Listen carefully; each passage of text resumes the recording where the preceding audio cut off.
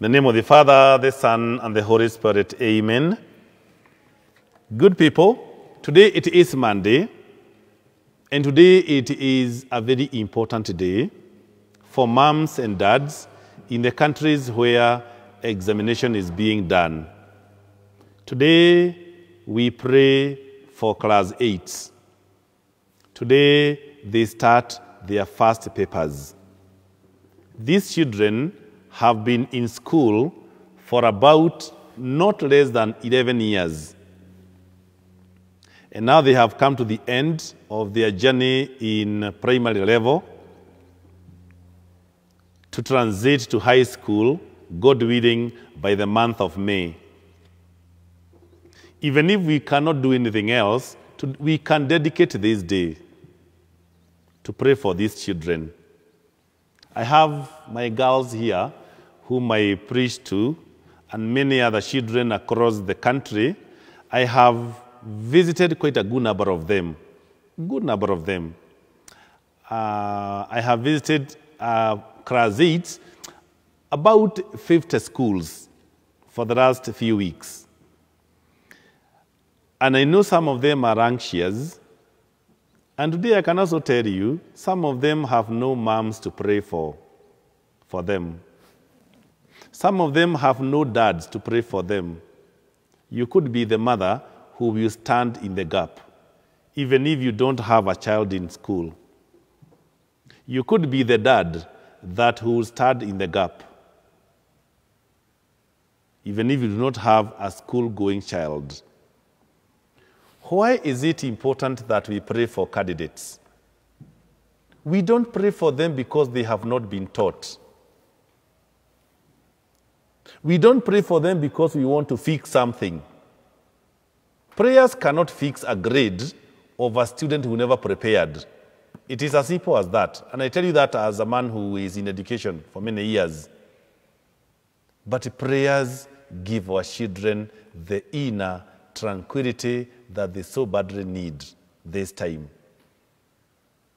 There's nothing as good as a child going to school and knowing that uh, today uh, I feel good. Today, very early in the morning, I blessed some children who are going for the exam. Class 8, very early, extremely early. And I remember a girl who told me, Father, now I feel so conf- confident. I know mom is praying for me, daddy is praying for me, and uh, before I blessed her, the daddy prayed for her. And she told me that, Father, I feel good. That daddy, daddy has, has prayed for me, and Father, you have blessed me. That is what I'm talking about, dear good people. I am talking about that, standing in the gap. There comes a time that we cannot pray for ourselves. These, our children, are not as spiritually deep as we are.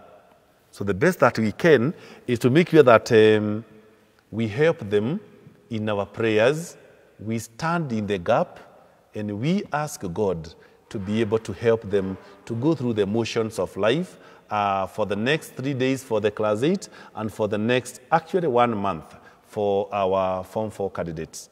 Because uh, from the first day of um, this month, they started their, their practicals and they go through this motion up until the first day of April. So it is a whole month that they have been in exam uh, atmosphere. Let us pray for them.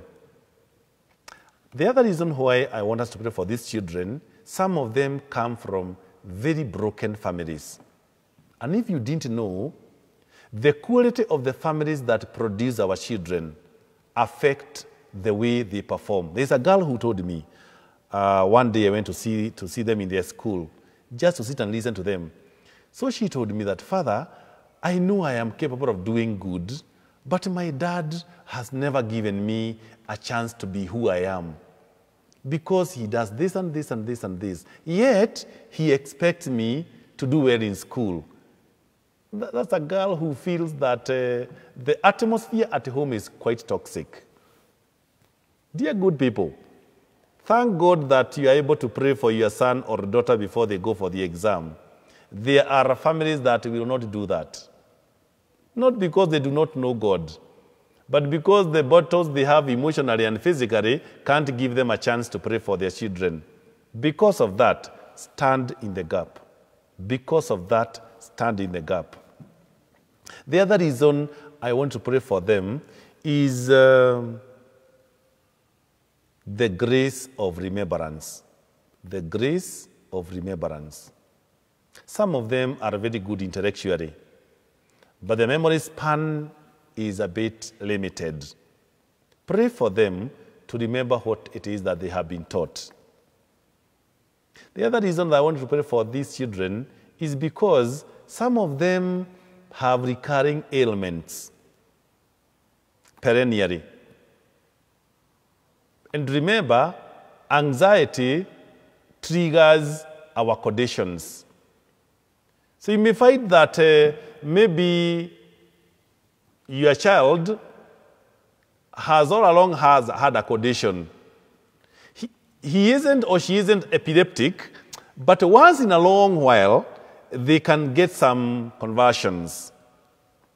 Because of anxiety, anxiety can trigger that. I remember a long time ago when I was, a young priest, I was, uh, I was teaching a student uh, in journalism who was um, epileptic, though it would not happen all the time.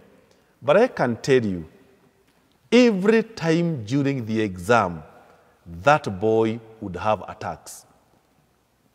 And I would, I would understand. So I, I would prepare him. Before the exam, I would personally journey with him. The night before the exam, we have a sitting in my office. We talk about it. We talk about the exams. What are your expectations? All of these things. And we would talk and talk and talk. And the boy would later go and do the exam. It's unfortunate that he later died. May he rest in peace. But uh, I want to confirm to you that exam can trigger some conditions that our children has. Please let us pray for them so that even those who have those conditions are not the conditions are not worsened by this exam. The other reason why I want us to pray for them is for peace, general peace in the exam room. Generally, we just pray for them. And finally, as we pray for them, we do a prayer of thanksgiving. Some of you will not remember to say thank you. I try to train them to say thank you to their teachers, to do, even to write a, a, an exam card to their teachers, which they actually do. Your prayer, let it also be a prayer of thanksgiving to your children. Our dear sons and daughters, we are praying for you and we are wishing you well. Our dear teachers who have journeyed with our sons and daughters, we thank you. May God bless you. Please, let's do this journey together. Those of you who had their candidates in class 8, remember your son or daughter is still in school. That is why we shall continue with this novena until the first day of April. Let's keep on praying for them. I'll be guiding you on the subjects being taken on daily basis. Those of you who visit my, my Facebook page, be checking on my Facebook page the papers of that day. I will always try to make sure that uh, apart from the prayers of the day, also the, the papers that are being done on that day. Please, let's do this together. We pray for them and we journey together. In the name of the Father, the Son, and the Holy Spirit, amen. Do have a productive Monday. Thank you.